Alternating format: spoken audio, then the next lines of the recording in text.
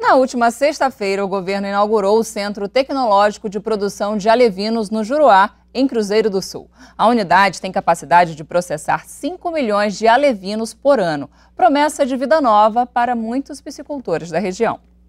Estamos na área rural de Mâncio Lima, a última cidade do extremo oeste do Brasil.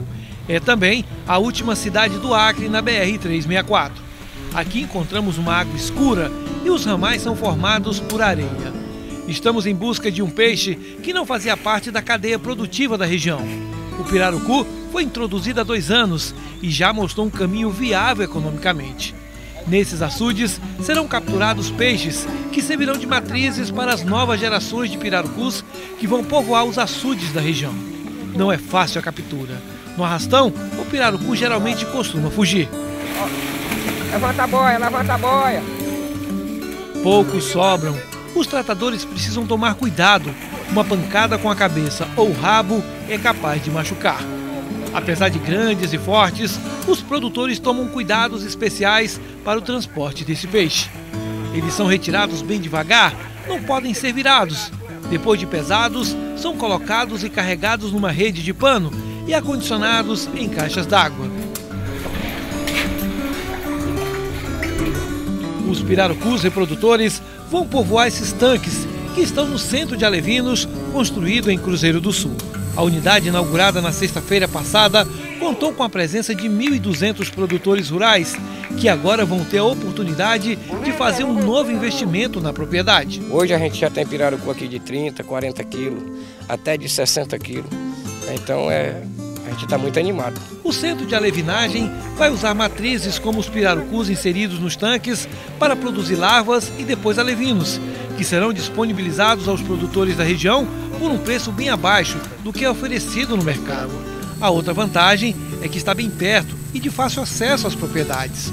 O projeto é produzir alevinos de matrichã, curimatã, piau, surubim, pintado e o pirarucu. Esse equipamento ele é um equipamento necessário para que a gente possa ter uma piscicultura competitiva. Você tem que ter um alevino de qualidade, portanto, um laboratório bem estruturado e um local estruturado para acolher as matrizes, transformar isso em alevino e poder vender para o produtor. A vista aérea mostra os 47 tanques do centro. A meta é produzir milhões de alevinos todos os anos. Só de tambaqui serão 2 milhões de lavas e mais um milhão de pintado no início do projeto. Os tanques vão receber água direto do Igarapé Preto e outros açudes locais, que têm água de cor diferente, a barrenta tão conhecida na Amazônia. O projeto é ter num prazo de 40 dias os primeiros alevinos. Os produtores já vão poder levar e encher seus tanques e no prazo de um ano já vão poder contar com o lucro. O governo quer chegar a 1.500 piscicultores só nessa região. Na região do Juruá existe um grande consumo de peixe.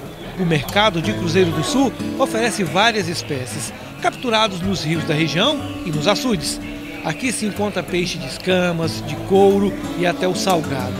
Até 2007, a produção da região chegava a 100 toneladas ano.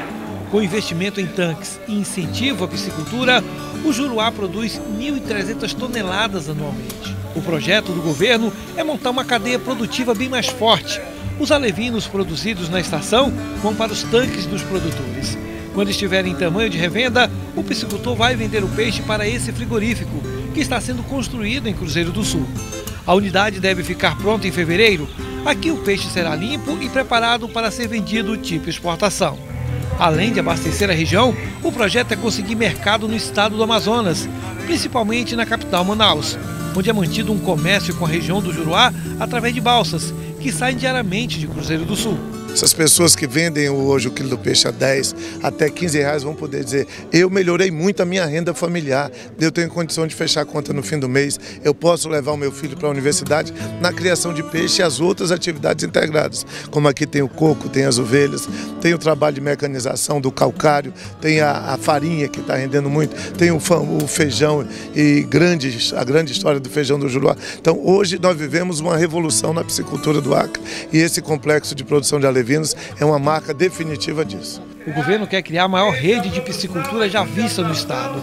Em Rio Branco, outro complexo está sendo construído. O centro de alevinagem já está produzindo os peixes que serão adicionados nos tanques de 12 mil produtores das regiões do Alto e Baixo Acre. A fábrica de ração que também vai vender o produto para os piscicultores de Cruzeiro do Sul será inaugurada no mês que vem. Para concluir o complexo, faltará apenas o frigorífico, que deve começar a funcionar em julho desse ano, onde o filé de peixe com a marca da Amazônia será exportado para o Peru, Bolívia e vai buscar mercado em outros estados brasileiros.